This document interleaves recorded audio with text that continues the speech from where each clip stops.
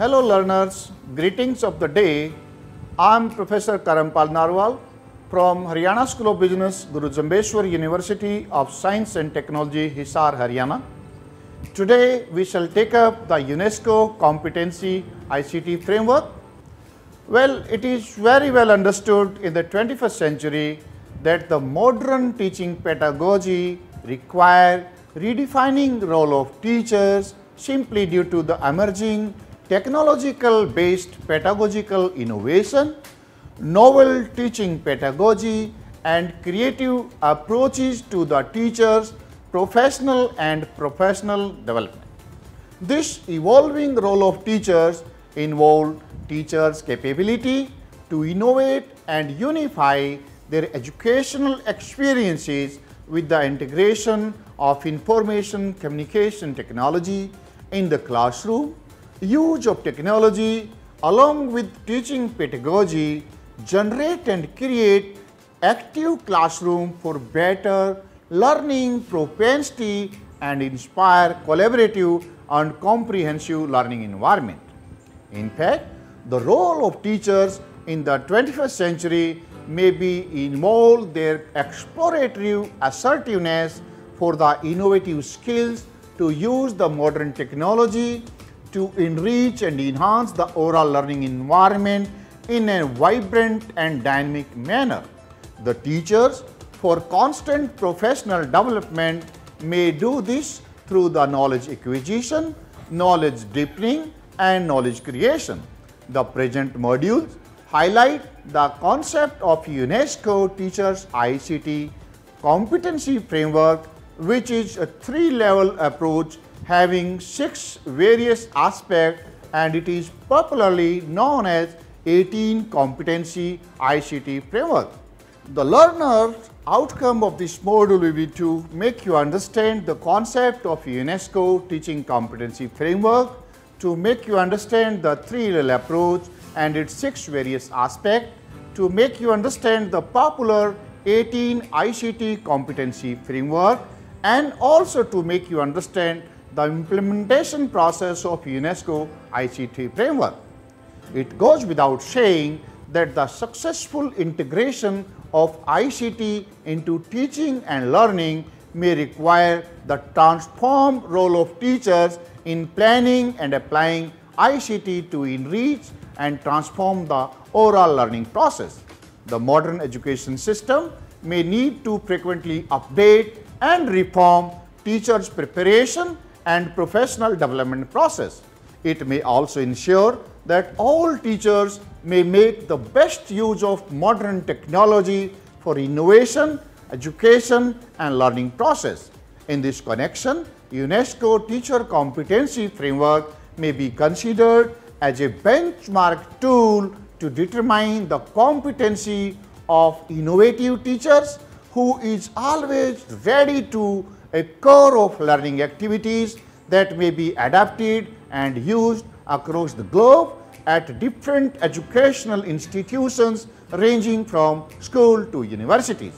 This ICT framework outlines the competencies that innovate teachers need in order to integrate information communication technology in their professional development process.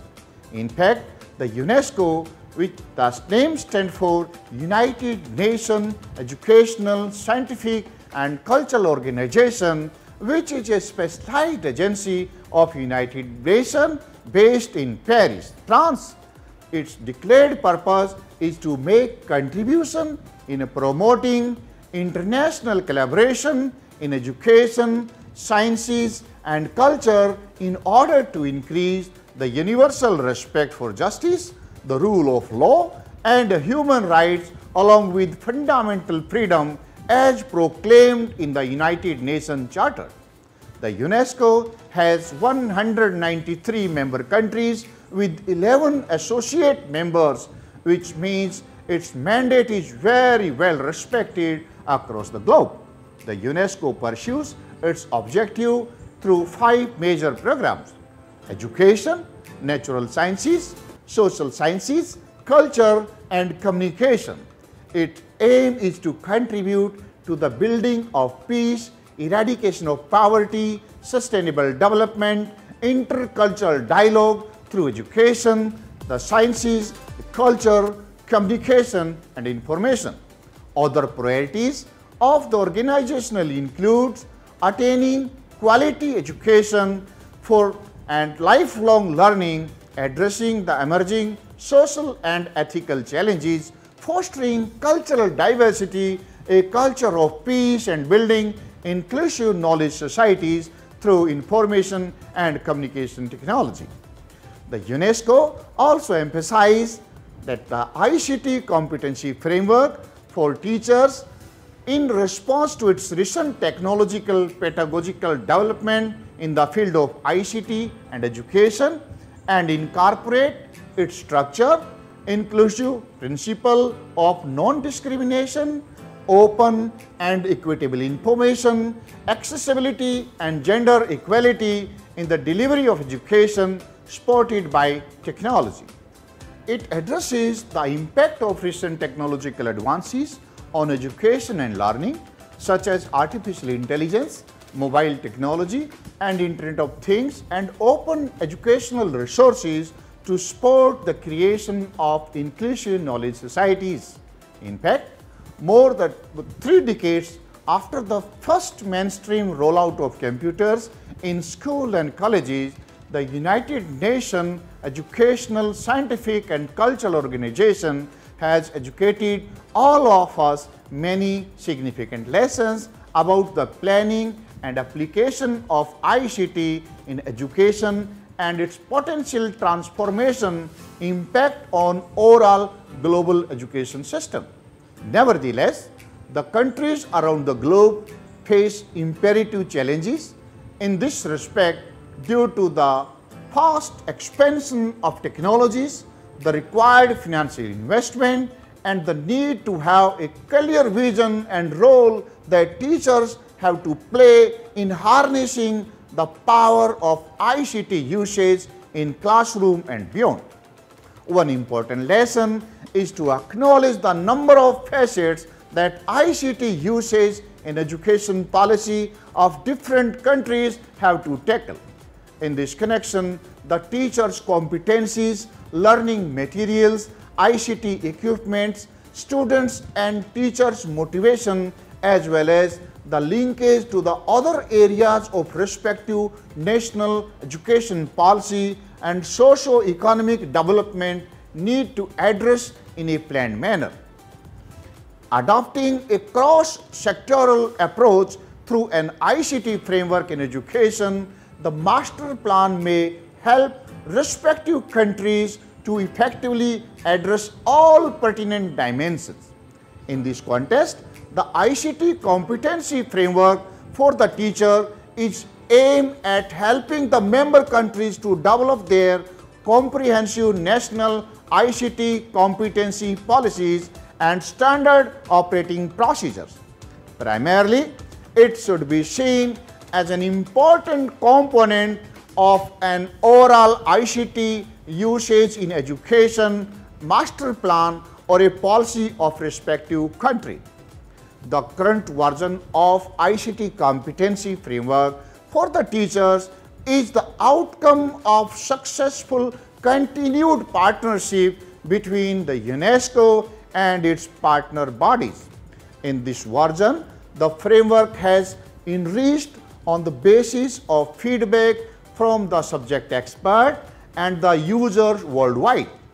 It has been enhanced with an inclusion of some specifications that are necessary for technology literacy and knowledge deepening process.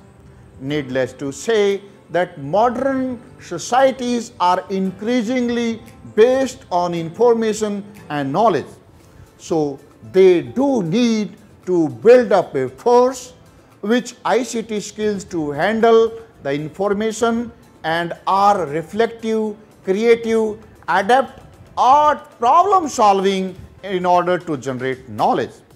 It also enables the citizen to be knowledgeable and resourceful so as they are able to manage their own lives effectively and also able to lead the full and satisfaction life. It also encourages all citizens participate fully in society and influence the decision which affect their life. Further, the fostering cultural understanding and the peaceful resolution of conflict. These social and economic goals are the focus of the country's education system.